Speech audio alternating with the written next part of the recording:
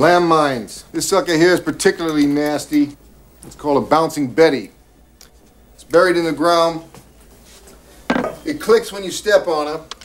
When you step off, it jumps up to crotch level and blows goodbye to whatever brass balls you think you might have. Girlfriend says mine are golden. she let me know this.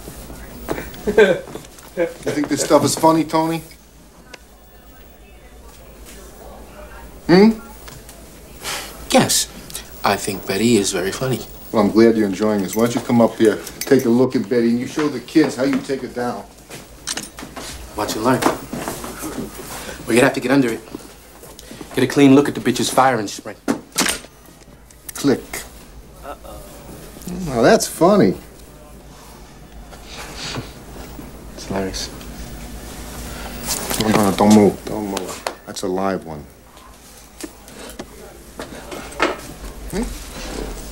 Boomer knew. Rule number one when you're disarming Betty, you don't step on her. Love a challenge. Oh, and uh, my Betty's, they come with a timer. You had 60 seconds. Come on, Boomer, let's get out of here. Yeah. Run. Run. See, school's going well. Yeah, I was born to teach. You got anything? Blanket's coroner's report. Hey, keep it under your hat, will you? Captain's already on my butt. Wants to know why you got Franklin there back in basic.